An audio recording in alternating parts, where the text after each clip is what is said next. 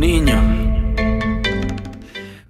my name is Vanessa Yerman. I am a certified instructor here at Fred Astaire in Delray Beach. A lot of people ask me, what do I teach? Or what's the main reason I teach ballroom dancing?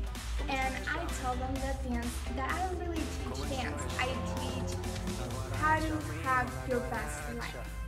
Dancing is not about steps, it's about being a better version of yourself.